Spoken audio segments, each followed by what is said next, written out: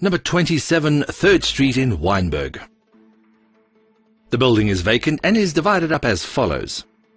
Four offices and a kitchen of 182 square meters, a warehouse of 1,722 square meters, and ablutions of 96 square meters, giving it a total GLA of 2,000 square meters. The subject property has five areas of entry into the building with an offloading bay at the back and in the front.